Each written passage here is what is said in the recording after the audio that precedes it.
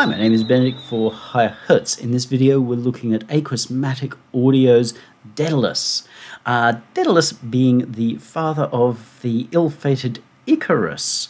Uh, so we have to hope that this is not going to be as ill-fated as Icarus, and not Icarus the VST, Icarus the, uh, the flying until he's not flying fellow. Uh, Daedalus flew as well. He just thankfully was smart enough not to go too high and to uh, lose his wings. Hopefully, this continues in this situation.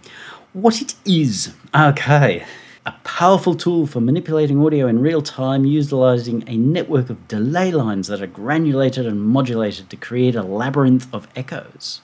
Hmm, Benedict likes echoes then further processed by filters, dynamic processors, and saturation modules to produce a wide variety of effects, from reverb like ambiances to revolving resonations, rhythmic pulsation to chaotic layering, subtle chorusing to pure noise distortion. Endless possibilities for shaping your world. I think I'm in love. So the thing is, does this follow through? That is a lot of purple prose. Uh, and does the device follow through? Let's take our time with this. We'll pop this aside for the moment. Here is our donor piece. Very impressive work. Let's give it a little bit of send reverb, make it a little bit more livable. Hertz multipliers doing duties there. And let's separate these sounds.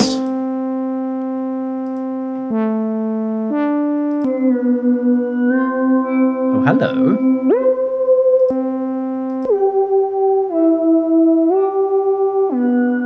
The more astute amongst you might notice that the melody's even changed, but it warps in a weird kind of a way. What this doohickey has is an ability to follow MIDI. If we turn that off,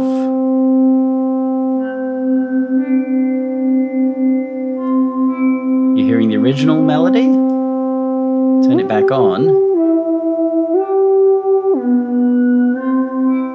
You've got a sense of the original melody in the timbre but it's overridden by the melody being imparted here. A little like vocoding, but not. Interesting. Let's give that a little bit more character with an echo. Because most digital sounds do sound a lot better once you've got some uh, modulated delay on them.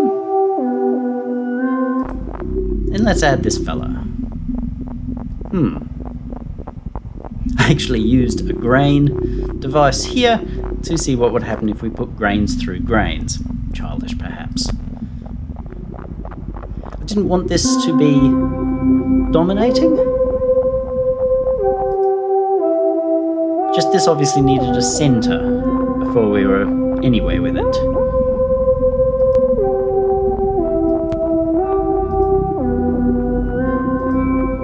So we're adding movement, some chorusy type feeling, some width, and just a sense of it belonging somewhere in the world.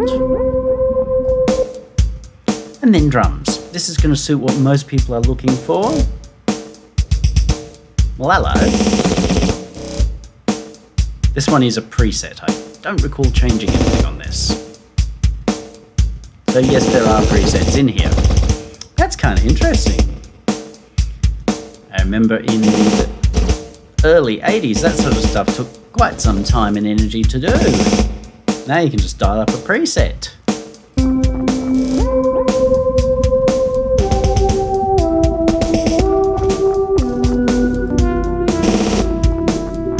So we started here, which is anemic, to put it kindly.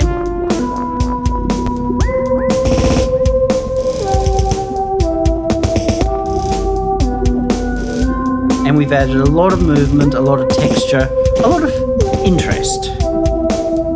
Is it a good piece? Oh, hell no. But the change, the AB, is what we're looking for.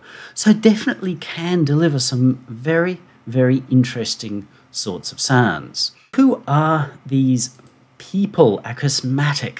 They are new developers, apparently been around doing this, that, and the other, but these days everybody overinflates what they've done uh, and got background in sound design, this, that, and the other. But either way, they got together and decided to make this. They distribute through a small up and coming collective type thing. So, yes, another one of these websites that wants to sell devices from several different manufacturers. This people call themselves Isotonik Studios. And they've got a few things. They seem to have started out more with uh, devices that uh, run under, I think it's Max for Live, basically work in um, Ableton Live. So if you're a live user, you may be familiar with one or both of these names, but entirely possible that you may not, because honestly, they do seem pretty left field, and also, I'll be very blunt and say they do feel a little beginner, and that can be a strength and a weakness, as I believe we will see in, in both directions here, but not enough of a weakness to to undo the strength if the strength suits what you're looking for and prepared to do. Uh, so basically, the same blurb. Uh, I did find their website a little bit 1995. Uh, and I had to go in in circles a couple of times to actually work out how to get the demo that they offer. We're running on demo. There don't seem to be any interrupts in the demo, which is very nice. I think it runs completely, you know, free of troubles and pain in the ass ishness uh, for 15 days, something or other, for a period of time. So it is nice. It doesn't intrude on itself, which is is great. It also doesn't seem to be giving me annoyances with iLok or anything like that. Uh, so that bit's okay, but installation was not ideal. Uh, and I did actually experience a crash once, which I didn't know what caused it, haven't been able to duplicate it. It may have been more of a reason thing, but I did hit a problem. So, as I say, I think in some ways it's relatively early days for them. But the strength on that is that they seem to be, rather than trying to create me Too wear, they seem to be trying to go outside of the box. And, and I'm a big fan of people who go outside of the box because the last thing we need is another something damned uh, 1176 clone that's saying that it's more 1176 than ever and better because they've modernized it or whatever. It's like, we, we don't need that kind of BS, no matter how big your name is. We'll run through the good and bad, and then we will dig into this dastardly duck. So, what's good? Radical, wacky transformations is probably the best way to say what this does in its truest sense. Yes, you can get it to do more sedate things, but it's a lot of extra trouble to try to make it do the obvious things. Uh, getting it to do the wacky is probably where it's really aimed at, and I'm generally not big on wacky, radical sorts of things, but this is different enough to justify it itself against other similar sorts of things. I thought we were. I was actually going to be reviewing a um, a larger name, more hip and happening kind of a, a thing. You know, one of those boxes that got ten effects and modulations and what have you all over the place. And while it was kind of cool, it was very predictable. Um, not necessarily in how it worked, but very predictable in its results, in its sounds. It was a let's sound exactly like this kind of a box. Whereas this is not quite so predictable and more able to give you something that's outside of the safe and approved cliche. That will put some people off, okay? But it is a real strength if you know how to harness it. So, in terms of things like public enemy loops or, um, or weirdly beautified pads, yes, we have a lot of potential in this. And as I've already pointed out, it's just not the same thing. That is a real plus in my mind. For some people's minds, they'll go, oh, but I'm only after the thing that gives me exactly the same sound. And it's like, well, good luck with that, because by the time you have perfected that sound, it's no longer that sound. So it's like chasing the losing horse and, and then betting on it, you know, just as it's about to lose. You lose uh, in terms of things that are not so good, yes, the install uh, raised a warning as it being potentially malware. Um, I don't think it's potential malware. I think it's just not signed or whatever it is. I think these developers really, if they want to play in the bigs, uh, need to um, uh, sort of take a little bit more stock on their infrastructure uh, and understand that you want your installs and everything to be an easy process. It then went and installed things that I didn't want. I don't use Pro Tools, so why install Pro Tools versions of your plugins on my computer? I don't want them. You might go, Bob, what does it matter? Well, they're mess. I don't want mess on my drive. Normally, a plugin comes with the ability to pick and choose which of the 57 versions I want on my drive. What's wrong with that option? Or, if you're going to play grassroots and I'm all for that, then get rid of the installer entirely. Give me a folder and say, put this folder in um, uh, Common Files VST3, and you're good to go. That should be probably all you need, unless you've got other things you're installing. I didn't get the impression. But nonetheless, the install was not elegant. It is not intuitive. I looked at these things with all my decades of um, dubious love for uh, delay, and I had to RTFM several times to even begin to make sense of it. And that was after having watched their little primer video. Uh, it is not intuitive. Uh, it is doing some things a little bit different, but not that different. And yet it's taken a very different path there. That, as I've said, can be a strength because it means that fewer people are going to paddle in this pool because they're going to go, eh, and hop out.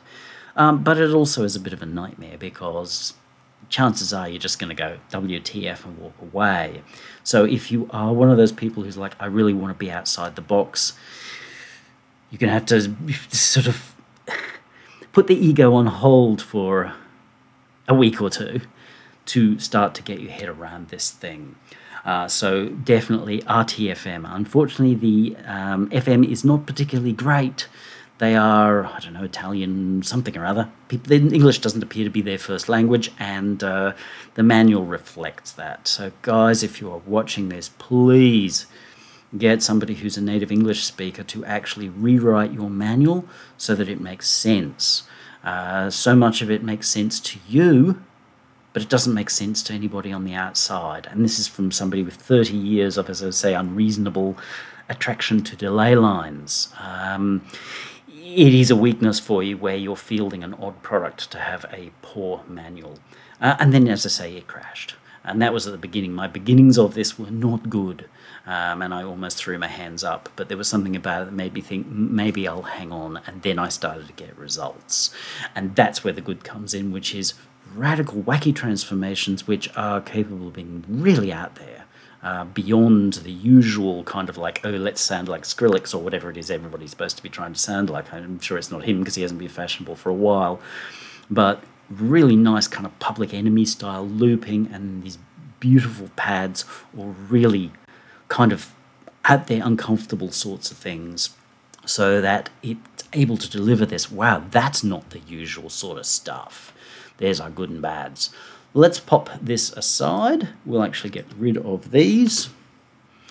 And we have one here, which we will look through. It doesn't have a bypass button. This is a thing that does kind of annoy me, but then I don't always put bypass button thing on things either. But something as big as this, it would be nice to have a bypass button somewhere.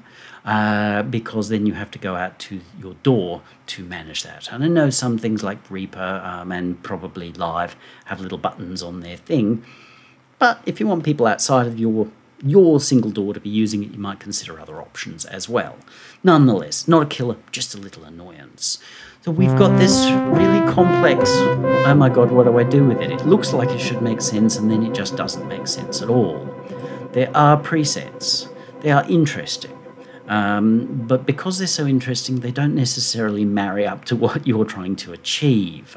But they are there and they cover a fair amount of ground, but they do mostly cover the weird and wacky kind of stuff, which I guess they figure to be their target market. Like a lot of, um, of devices these days, it's all modern, modern, modern, modern, modern. They're sort of one eyed. Uh, I was just reading something from a, a, an online friend who was playing with a, a certain large name.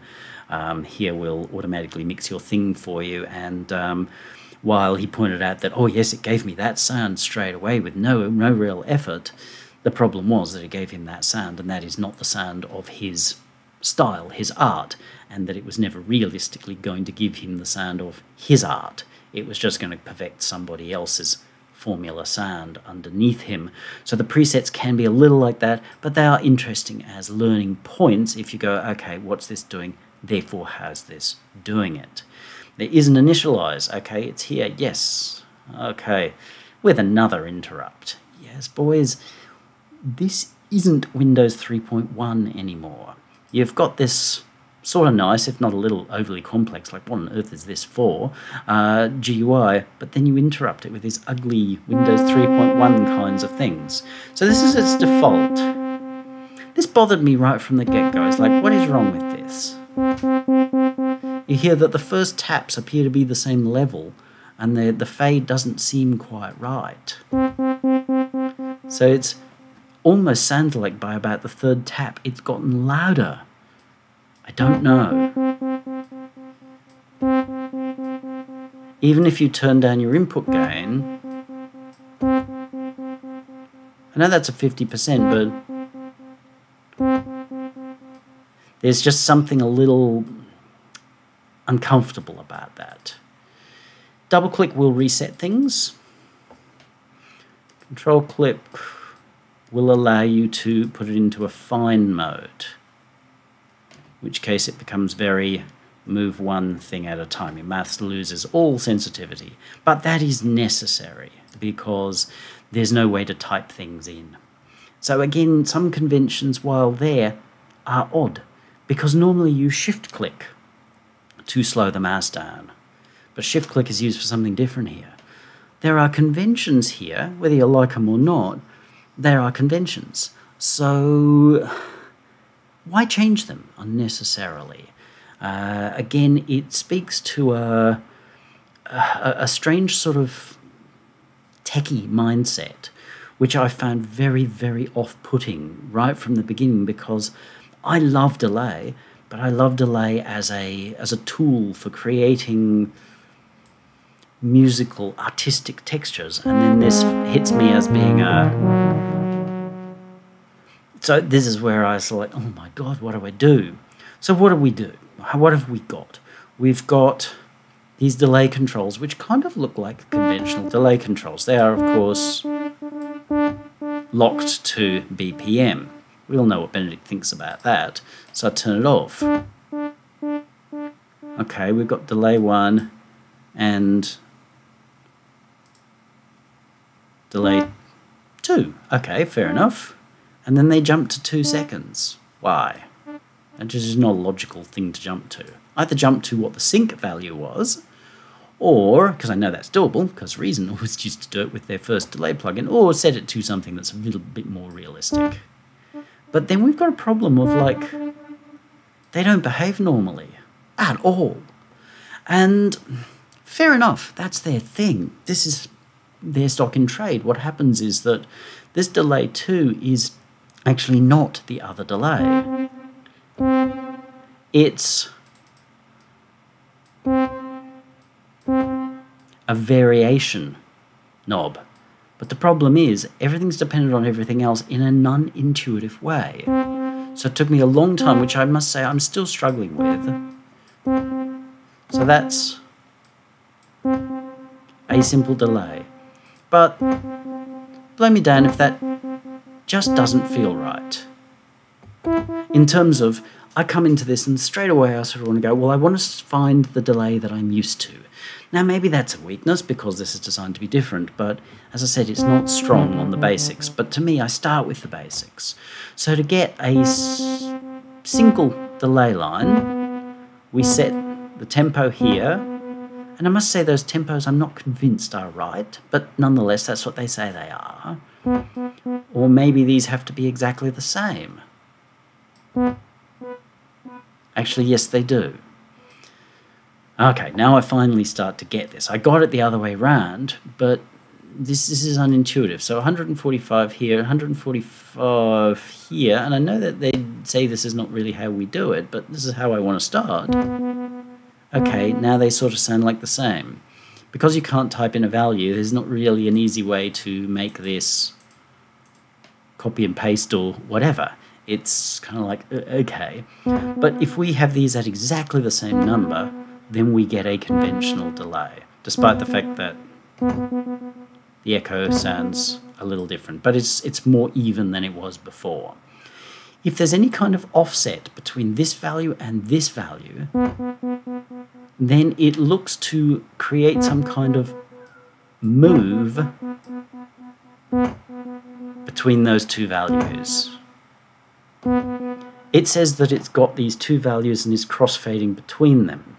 I don't think it's as simple as that because it's granulating. In other words, constant little sampling, grabbing little slices of time based upon the Hertz value here.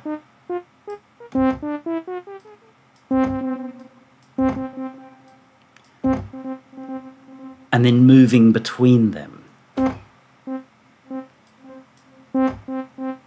So it's hard to get that classic delay because as you can hear it's sort of moving around a bit but we can put this upper and lower values and it's going to move around between them and it's not really a straight crossfade as though we had a digital delay line and a digital delay line and a crossfader between them it's more complex because of this grain stuff in sync it's BPM Obviously we can go to triplets and dots and what have you. And then we've got vary delay. So it's a little easier to understand here. We can say, oh, well, I want my timing to vary by this much. And I can set my variation to be somewhere between a sine wave or a random wave. So you can hear that that's not coming back perfectly in time. It's coming back a little jutted all over the place with minimum or no pitch wobbliness. Normally to do this we have a pitch wobbliness.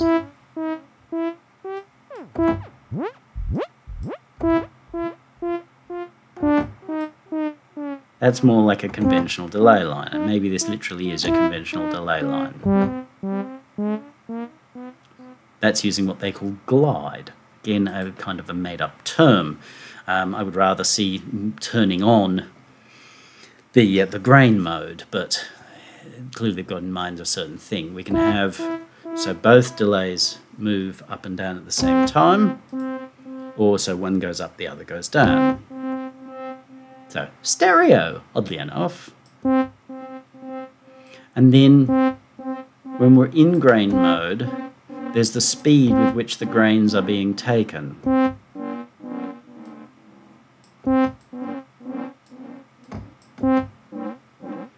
Which starts to give you strange and interesting results. And then you can control the time of your delay by pitch. So this is similar to physical modeling or resonance modeling. So we're using an incredibly short delay time, which is matching the notes that we're playing. And we can respond to MIDI as we saw with the other one. I'm not going to do that here. You've heard it before, uh, and it's one to play with. So what that means is that this now changes the delay time to match the pitching of the note that we put in. So as you heard before, we could take an existing melody and drag it out somewhere else by feeding it this different line, similar to a vocoder or to some extent um, uh, a misuse of auto-tune type thing where you feed it MIDI and force the notes to do I believe kind of thing. Interesting, it's being done with this, so you're using very short timing to create resonance, and of course you can control it here. Obviously we would normally want a lot more feedback to create a tone. And at this point, a lot of this stuff seems to vary a little bit. And then we've got the ability to vary that by a certain amount. So in other words, pulling it in and out of tuning. That is potentially a quite interesting one. How well that's going to play out in reality, I'm not sure. So I'm not going to say this is the killer feature. It might be. I'm not going to say it's not, but it may be one that you find you get use for every now and then but to a great extent of the time find you have no use for at all. Um, but it is interesting and it's very cool to see something like this implemented, even if maybe it's not implemented in a particularly intuitive way. A way that makes sense to the developer, but is it going to make sense to the average punter who's picking up a VST? I have some concerns on that. So they're your three modes, which is the sense of having a target and then a variation amount. And with the free mode, it's actually possible for your target to be high and your variation to be low, meaning that between 400 and 2.5 is your variation, or between 5 and 102 is your variation, the gap between those two being the variation. Then, so long as you're not in this mode, which is a little like your um, your normal delay mode. I think it's a normal delay. It seems to indicate that, but it's very unclear about what's what. Don't be secret or proprietary, boys.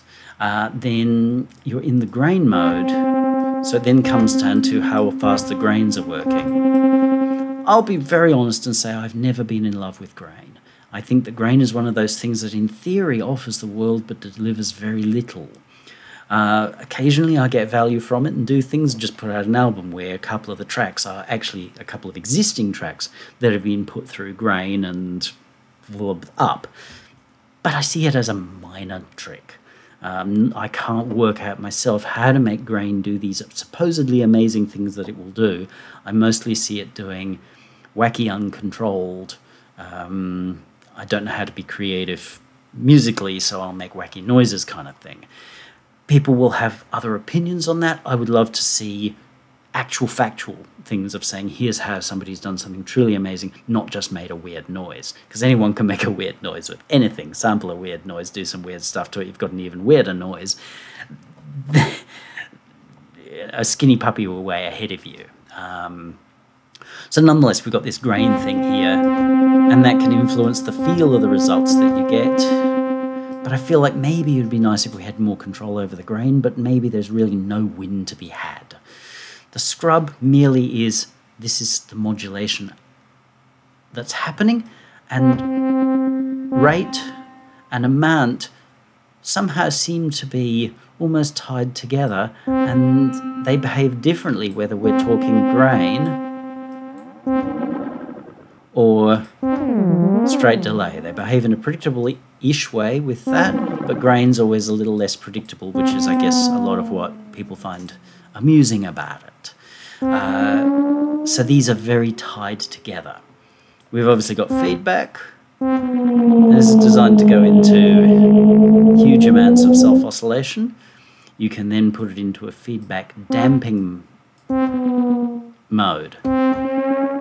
So once the signal that's coming in, like what I'm playing here, is turned off, we can actually have it start to get rid of the oscillation. And then gates and what have you as well. I'm not going to get heavily into that. It's there's a lot I can't get heavily into in this because we'll be here forever, and I can't fully understand it myself, despite having put quite a lot of hours into it. Input gain, as I said, this sort of seems kind of strange, but it does impact on how other parts behave. So if it seems to be running too hot or you're just not comfortable, as I'm not particularly comfortable with its initial mix, pull down your input gain. It does help a little. Uh, output gain, that just controls the whole thing. This can get a little loud. I don't think I encountered any situation where it got quiet, but I've encountered plenty of situation where it got loud. In the, the little piece that I had before, you notice everything was pulled back 3 or 6 dB. It can get loud. So be it. Uh, you can also have it that it cross modulates. So it takes on what's one and feeds it back to the other. Now, honestly, sometimes that just doesn't really add any great value. But sometimes it does. Uh, it's there. Then the random pan. So we can take. At what point it's randomized, I'm not sure. Maybe it's each grain uh, can be panned randomly. We've got no real control over that. Again, wonder why we wouldn't just have a a nobula so that we can go from none of that sir to bring it on uh, rather than uh, yet none of that or bring it on or bugger you.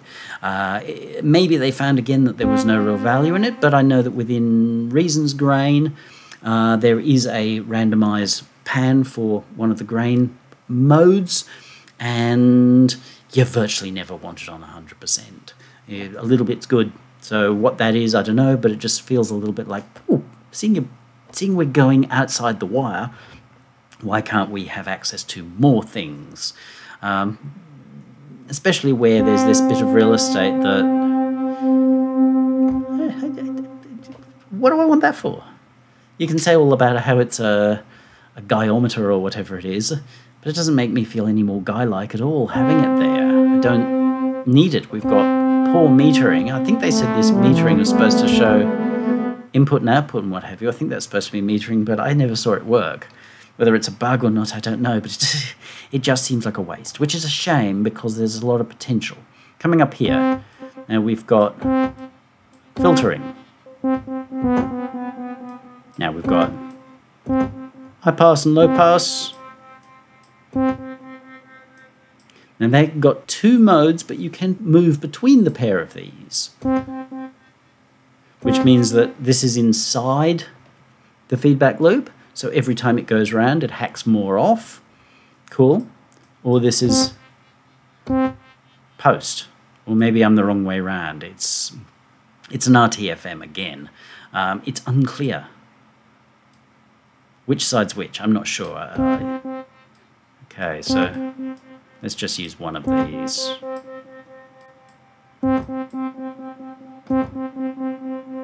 I think this is post. So the filter is post everything. So we get to the end of all of our stuff that's happening with our echoes. We put it through a filter. We just say, okay, that's the filter we're giving you. Or every time it goes around, it gets filtered more. Yeah, so it is what I thought it was first time around. And then you can mix and match. 50% means that the first echo has got some filtering and then more filtering after each. This this way means that the first echo has no filtering, but the ones after do. So 50-50 is probably what you're mostly after. But you will find that you get different results with the tail with different things here.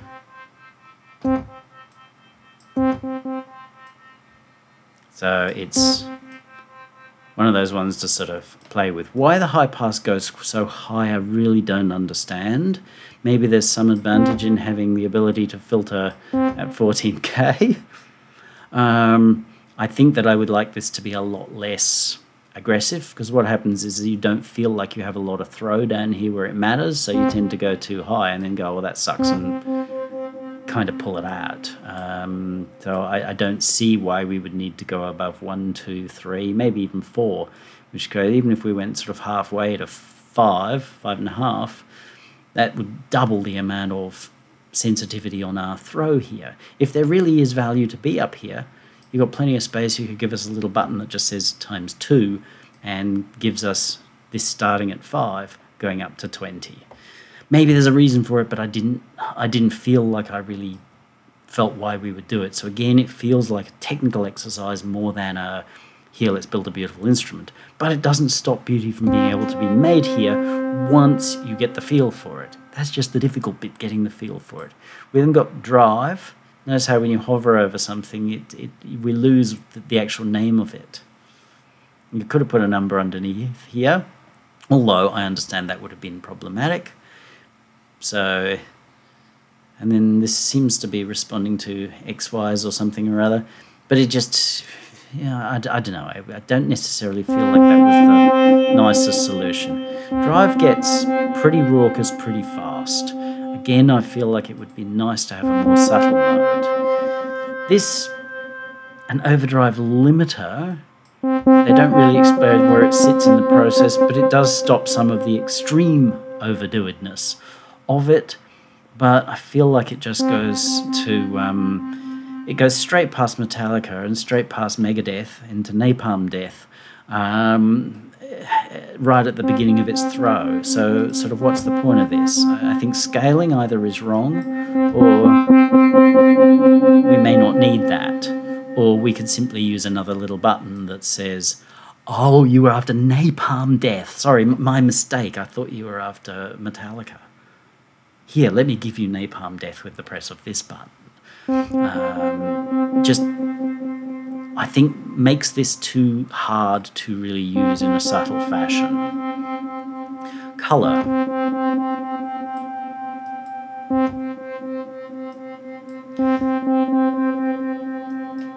This one, oh, now what was it again?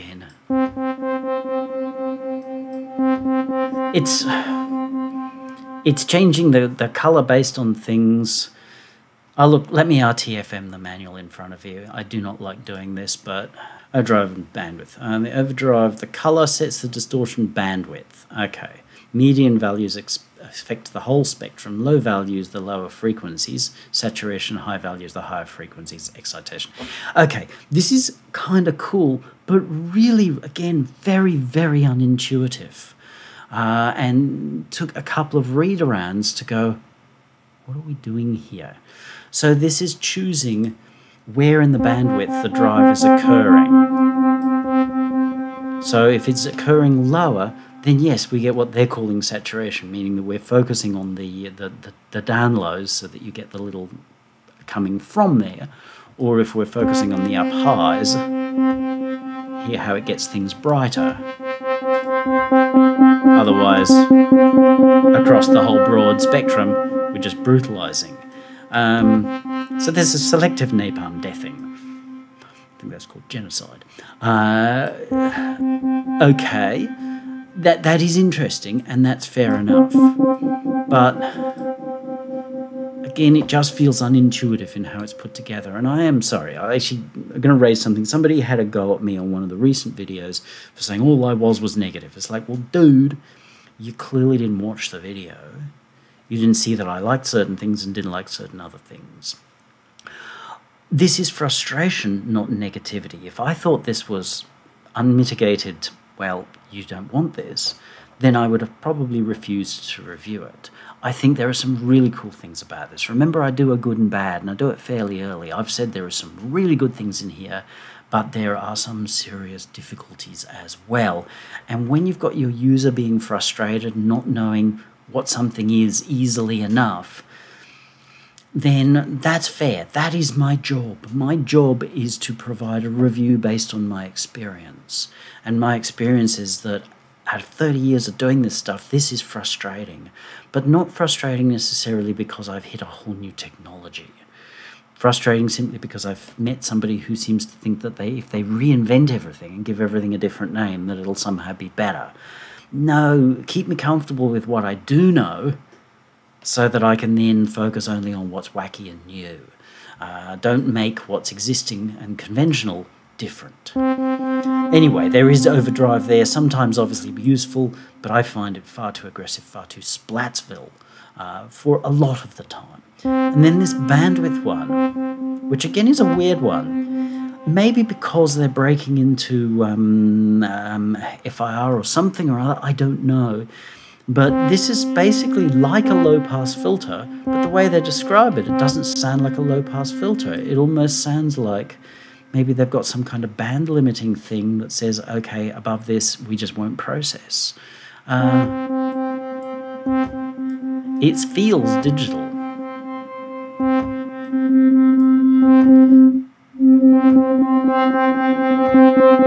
Maybe that's just because grain always sounds very digital, but if that's a low pass filter, why not just call it a low pass filter? Calling it bandwidth suggests to me that it's actually something else. Don't know. But it's uh, if you're finding that the whole thing's a little too bright, because it is prone to being pretty bright and digitally, then band limit because it may well literally be band limiting and that is giving you the ability to not only band limit at say 20k but down at you know, 1K or whatever. I mean, obviously it can go to the, the nowhere territory. It's just one of these weird, unexplained sorts of things. All right, so we've covered all of those in a reasonable kind of a way. And then we've got this. Okay, a kind of an MSEG. And when it's running, ooh, cool display. For what, I'm not sure. It shows us what is running and what is not running. Okay, that's kind of cool. And then we've got the ability to obviously move things around. All manner of um, M segginess. Okay, I really had to RTFM as to how to use this thing. And it wasn't until I looked in some of the patches and went, oh, I didn't see that before. There's no matrix here. None at all. And no assignment thing. But if we take our thing and drag it off onto a control, oh look, it now tells me this is being modded by mod 1 and showing me the movement. And I can control how much it's modding things by. If I hit shift to, oh, that was the wrong key. Normally you hit shift, remember, to make this thing move in finer amounts, but no, not with this, you have to hit control, because if you hit shift, it'll delete your modulation. So now this gives me a bit finer control over this. Interesting.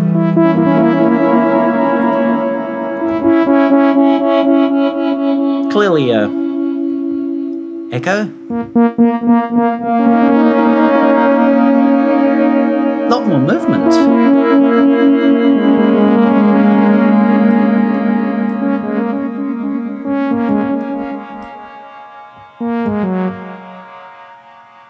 So this is where it starts to get interesting. And you can then use your modulators to modulate other things. How you use the modulators to modulate themselves, I'm a little less sure. Ah, okay, so you've got to be on the modulator that you want to move to, and then, and we better turn this on.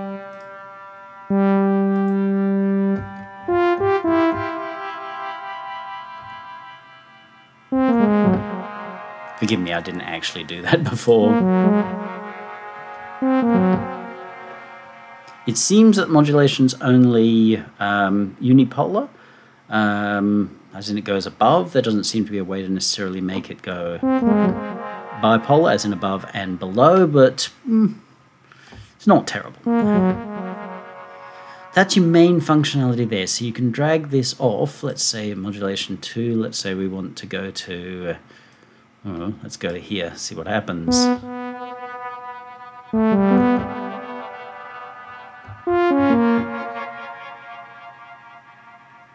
Alright, fair enough. What happens, I didn't try this, if we want to send... No, you can't. So you can only send one modulator to a target by the looks of it. Yeah. So let's let's assign two.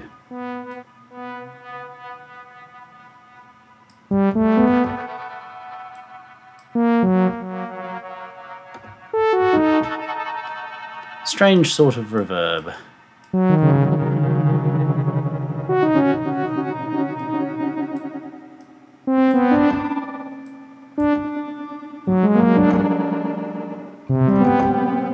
I'll admit I really struggled to get a nice reverb out of this, um, and by nice I'm not fussy, you know that I really like interesting character reverbs, but it tended to the digital uh, and the harsh. But to use this as a feeder for another reverb that's more algorithmic, um, or, you know, more traditional delay, maybe. That gets a little bit hazy father. Okay, that's softer if we double that. What if we... That seems to sort of take over whatever um, panning was there.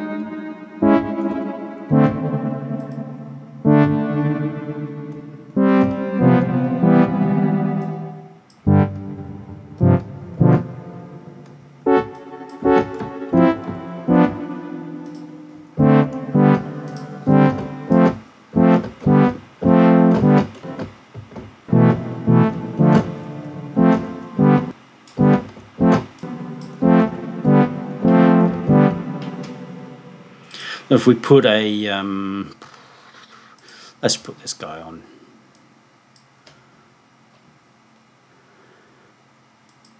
And let's put it into a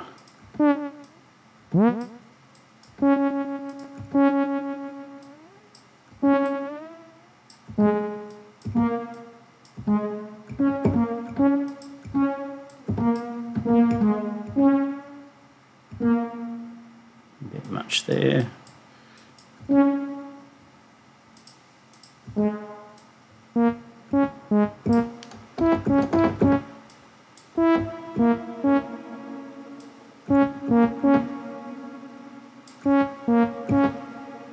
So that smooths it out.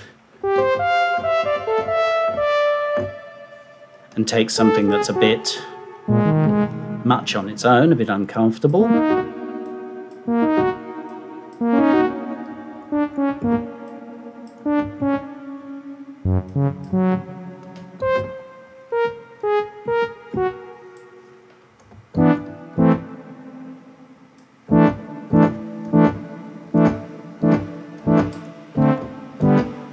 Makes it a lot more comfortable.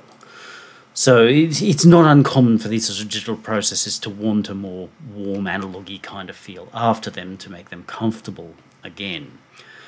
Uh, but this is interesting. We've then got a second mode. Let's just kill off these for the moment before we start to get something that's so incomprehensible. Let's turn him off. So we're looking at the one thing. It's possible to move into a kind of random mode. And that one's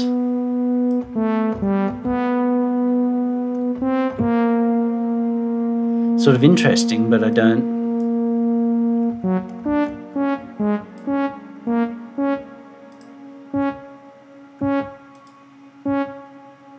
Actually, it is adding depth.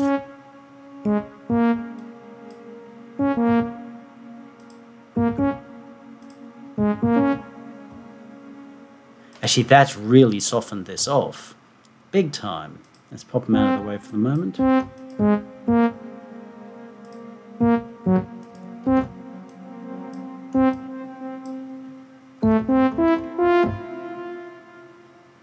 So putting this on,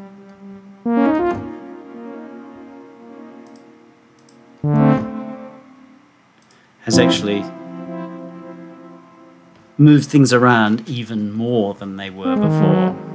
So that's that's actually quite a nice thing. I did see that this was used quite a lot in feedback. Let's just pull it off here.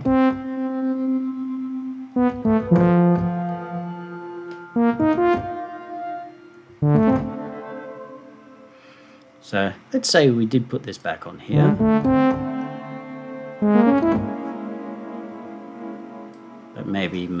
The relationship a little bit.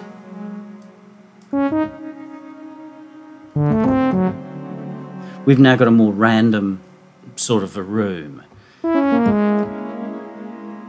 And that becomes interesting. Uh, so there's there's a fair amount that we can do with that. The the kooky graphics maybe a little. Hmm, we can move it to linear. We can move it to curves. So this is like a soft noise moving between position here and there. That's a sample and hold kind of thing. That's a softened sample and hold. And that's a very soft sample and hold. So if you're after random, this is an interesting device. If this were in Reason, either as a standalone output as CV or in something like, let's say, Europa added one of these, uh, may not use it every time, but I would find uses for this. This is really cool uh, and would like to see this sort of thing applied more broadly. So if you are interested in Reason, I know that rack extensions are a little hard to sell, but if you're interested in, to the developers, if you're interested in Reason, this is the kind of thing that would do super well in Reason and most likely do pretty darned well in Bitwig if there isn't already something mining this seam. Your next thing is to have these modes, blocks, which is similar to random, but it's a step sequencer. And you can cycle through Let's just get rid of that. Uh, let's try cycling through our grain frequency. See if that's going to make any difference. Yeah, we can hear that.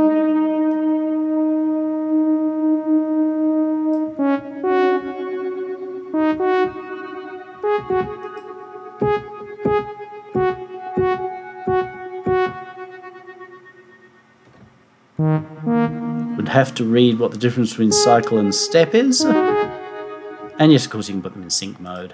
Scramble. Okay, that just seems to scramble all the values that I've got and rearrange them. Random just creates a whole new random set of values. Fair enough, and then you can move things around and up and down and all those sorts of things and reset it.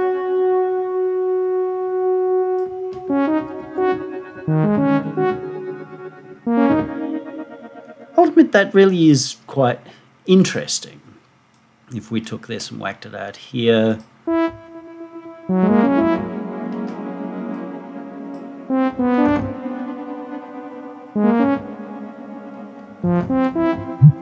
we are getting textures that would not come so easily out of a reverb unit because they're what most people wouldn't want their reverb unit to do.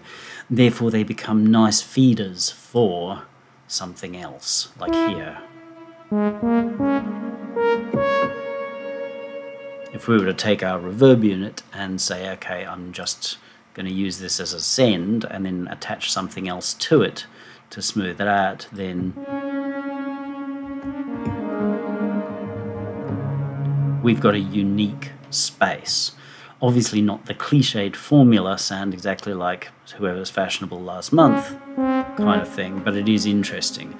So this is this is pretty cool. Uh, its control is generally fairly good. Like we could take our let's let's make one of these and get it in motion and uh, change its tempo, drag it off to let's drag it off to overdrive. Make sure there's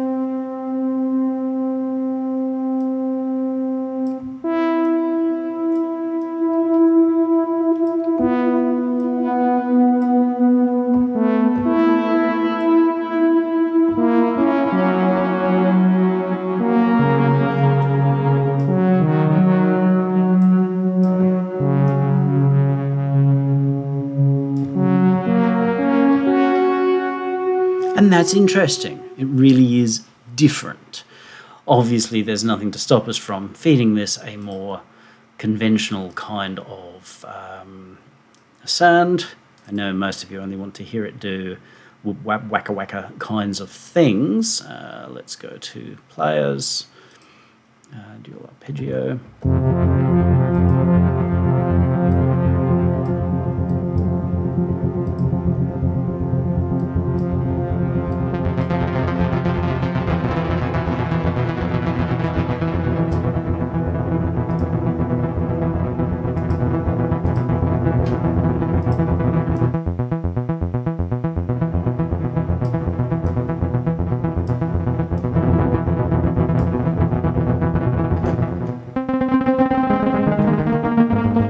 Obviously different. Actually, something I saw that was kind of cool was um, I have to remember how, how this was done. Uh, double click, and yeah, they were, they were creating uh, a bouncing ball.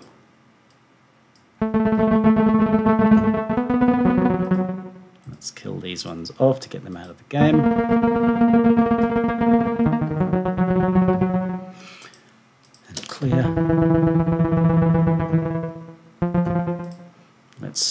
This down.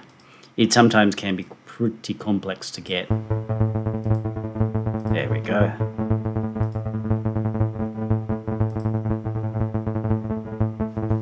Oh, okay, I'm not on the one that I thought I was on.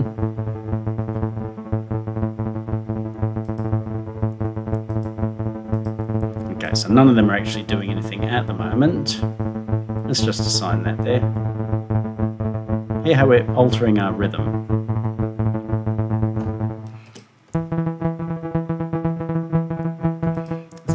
Sync.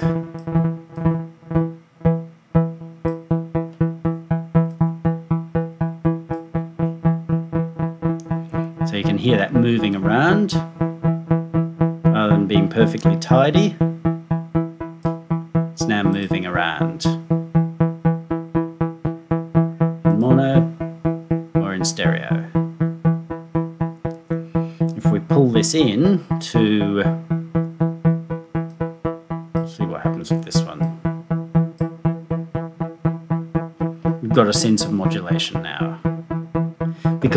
Actually possible to use traditional delay modulation and the grain modes at the same time. They don't seem to go together. It seems an either or. We can do that or this. Now, where was my. I thought I made a cool bouncing ball. Here it is, number four. Let's say number four. Uh, so let's go with the dry wet, see what happens here.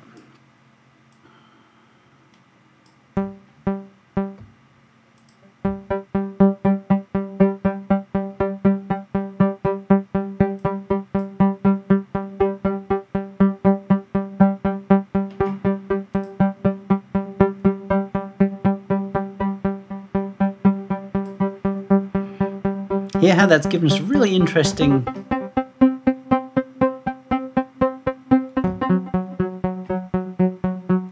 offset that so. Now we've got a counter rhythm so we've got a polyrhythm happening here which is all kinds of hitchy because it's not exactly what we expect. And this is where this one gets really interesting and I think just a little bit outside of what everybody else is doing. But it is harder con to control in the process.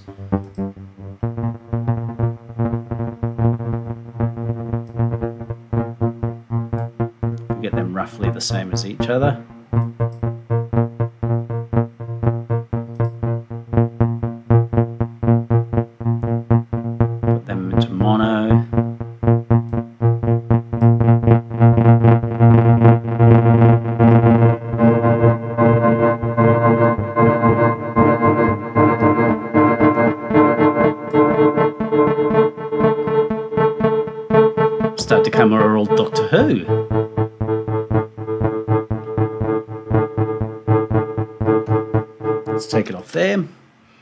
So the sort of bouncing ball thing is kind of interesting. This is probably going to get all kinds of interesting.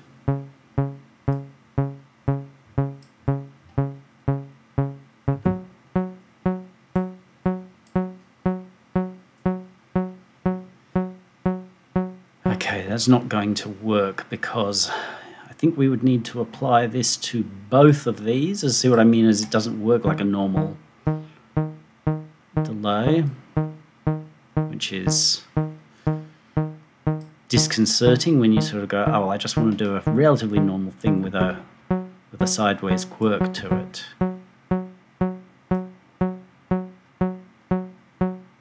No. Oh, that's why. I had the thing down. Okay, let's turn that off. That's just too interesting.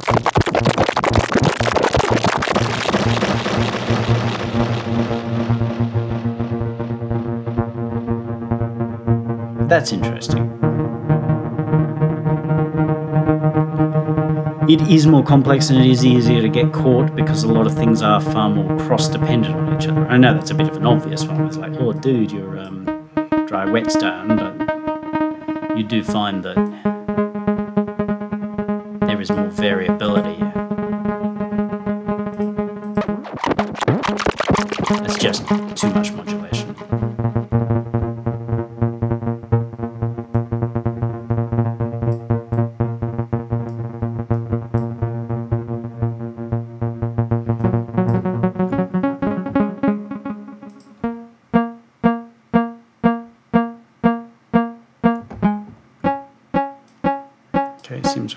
Assign that one again.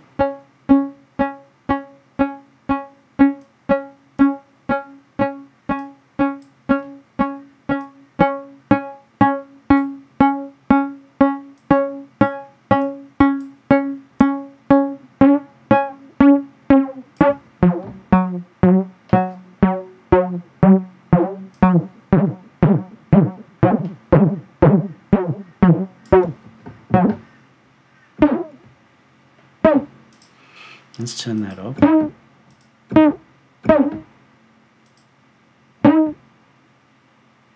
Trying to see if we could get that to be like a bouncing ball. Because I know in Bitwig they have a bouncing ball delay, which is super, super cool. But I can't work out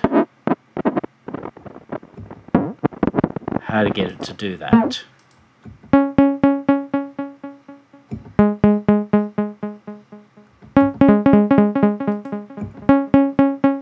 Okay, that seems to actually be doing it. Odd.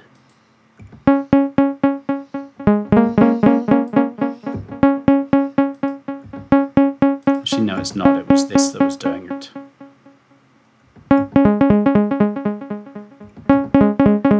There's no particular way to control some things as much as you'd want to. If I controlled this, and I may be just missing the logic, um, to say, okay, it's still driven by this. But I just, if I want to just directly drive it and say,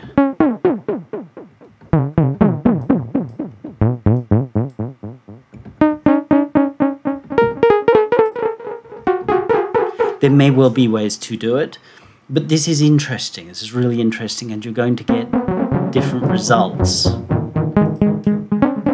out of it.